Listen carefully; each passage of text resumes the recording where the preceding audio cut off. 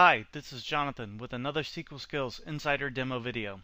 This video will continue the series of free tools to help you with managing and troubleshooting SQL Server as a DBA by taking a look at how to use Plan Explorer, a completely free tool provided by SQL Sentry to analyze execution plans generated by SQL Server. Now I know that some of you may be hesitant to try something provided by a third-party vendor, but in this case there are seriously no strings attached. You can download a copy of Plan Explorer without providing any information at all. They don't even ask for an email address because there's no marketing uh, follow up that's going to happen as a result of you downloading it. All you have to do is go to the SQL Sentry site, uh, click Products, uh, Free SQL Sentry Plan Explorer, and then scroll down and select the appropriate bits for your environment, and it will download directly with no sign in, no, no any information required to get this product. Um, it also has full documentation that you can download or view online. Um, and there is a change list that they publish for each of the build changes that come out associated with the product. One of the really cool features that they recently added was the uh, a new SSMS add-in um, that will allow you to open execution plans from inside of Management Studio and have the data transferred to uh, Plan Explorer so that you can look at it at more depth there. So to start things off, let's take a look at one of my favorite execution plans from the past. Um, I call it the really bad plan.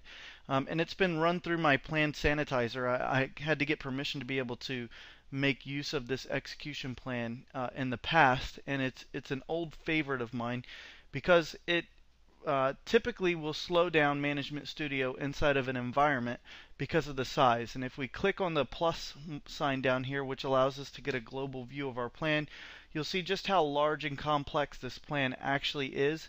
Um, and I actually had to go through a performance tuning uh, exercise associated with this plan in real life, and it was really, really challenging to be able to do so. Um, and this is a plan that actually taught me the real value of Plan Explorer because I, I jumped out to Plan Explorer and said, well, let's let's just see what Plan Explorer can do after having seen a demo of it.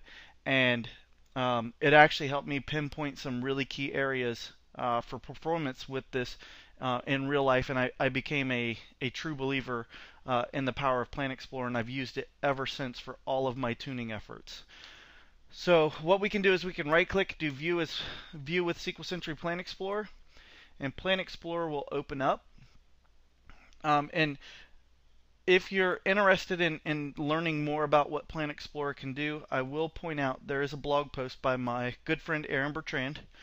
Um, and in this blog post, there is a download kit that you can download to go through all of the demos and everything that, that Aaron points out. And I'll point out a number of these features as a part of this insider demo video.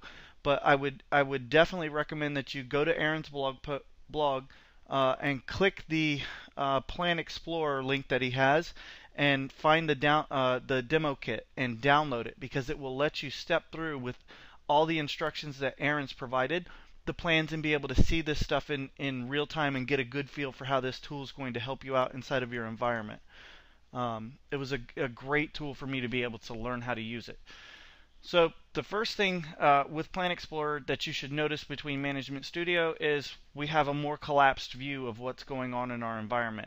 Um, we can see the, the immediate nodes associated with this nested loops uh, key lookup that's actually happening inside of um, our plan and we can scroll over and we can see a whole lot more information immediately that's readily available.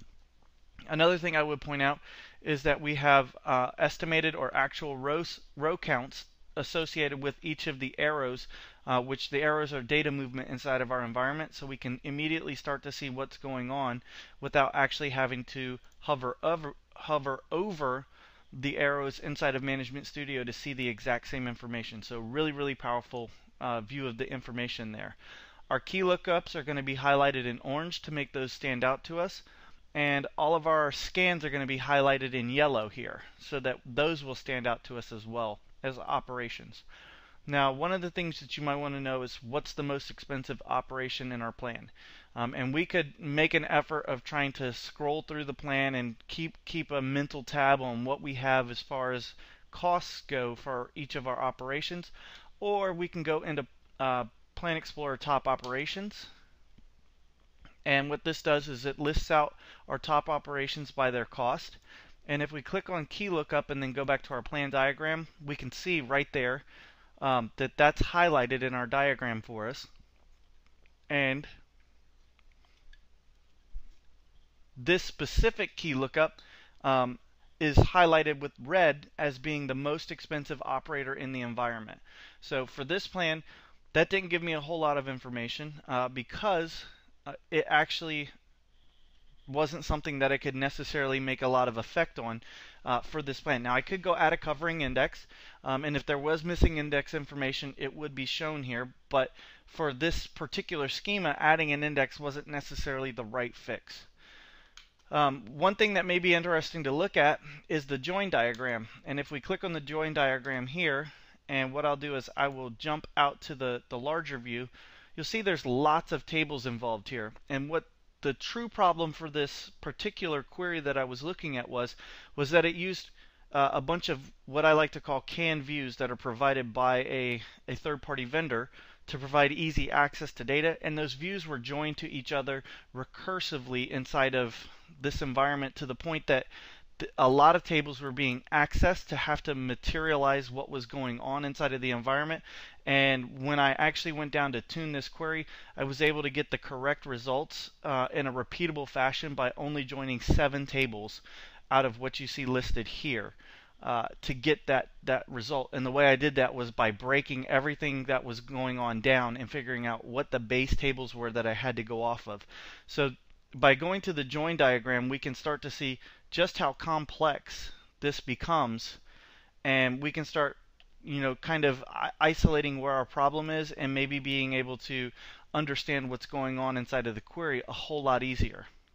Now, if we jump back to the plan diagram, a couple of things that I want to call out uh, that really make Plan Explorer just a phenomenal tool for for looking at execution plans and doing analysis. And what I'm going to do is I'm going to scroll this up and scroll this up so that I can collapse this down. Um, the first thing that I would point out is we have per node costs, which are typical for Management Studio, but we can also flip over to having cumulative costs.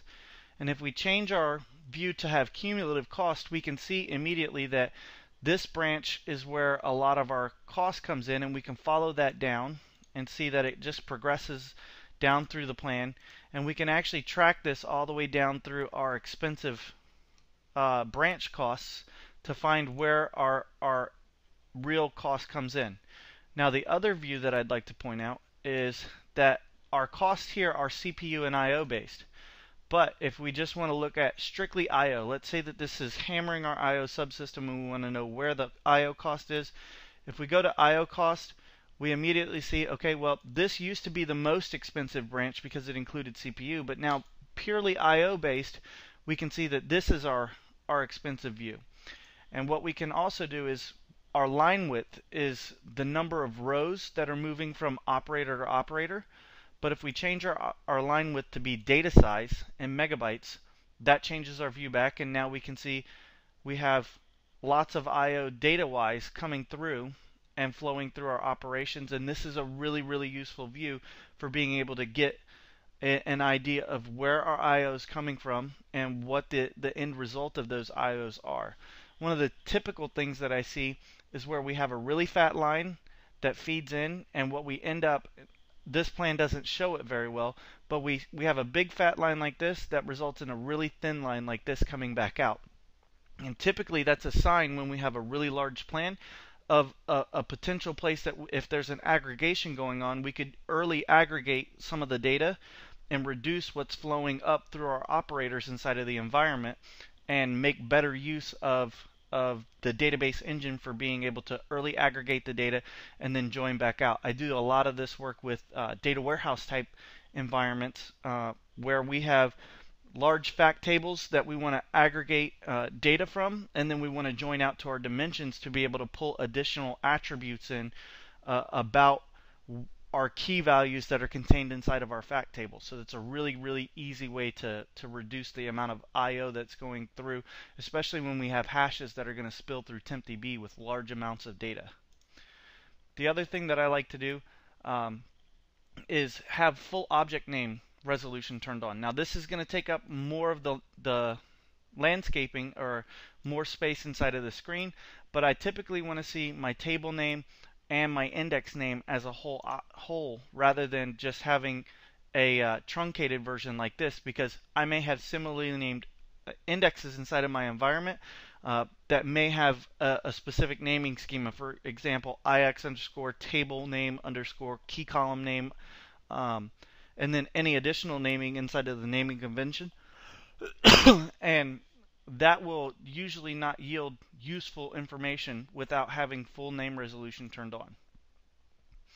So I know this is a fairly short demo, but I hope this has shown you how useful SQL Sentry Plan Explorer is for analyzing execution plans generated by SQL Server.